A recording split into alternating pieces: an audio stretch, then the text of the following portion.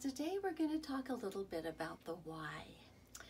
Um, in Marla's class on downsizing and simplifying, um, she mentioned if we weren't sure why, we should go to a room, look at it, and see what comes. Well, I did that. I came into my dressing area. This was not looking so organized before I organized it.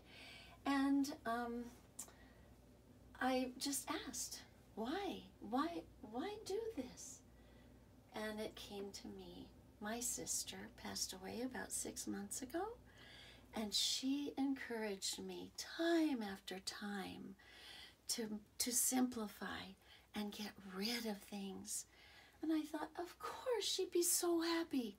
And I'll be much happier when this is organized.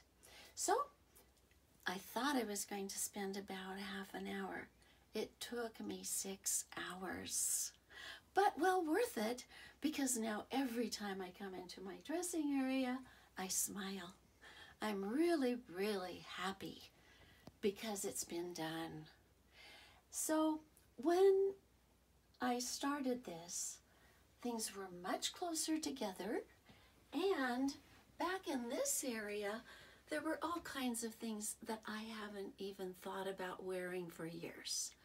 Um, well, one of the things was a uh, negligee uh, of 22 years ago. Mm, no, that, that's not in the, in the wearing of apparel now.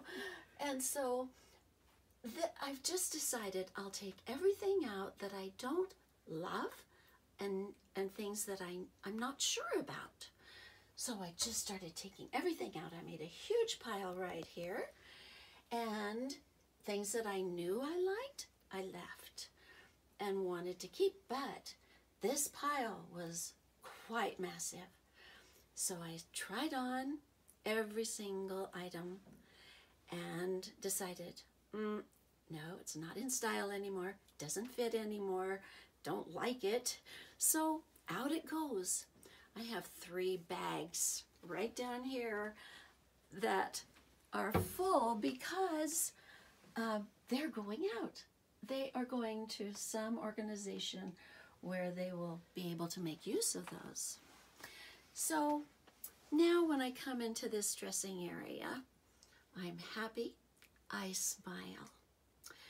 And that's wonderful. That's, that's so different than the feelings I used to have. So when I got this done, the next day, came into this area, smiling as I'm looking at these things, I looked over here and lo and behold, this is my makeup area. Ooh, it was next. So I just decided, let's get rid of anything that I just don't need. The next day, I decided to do drawers.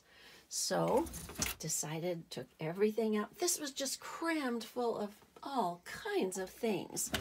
So we have that done, have this done. Three of the six drawers are now done. And the whole effect of this is I feel lighter. This whole area to me is a joy. And and so if you have a chance to get to it, it's going to be well, well worth it. And Marla's classes are wonderful.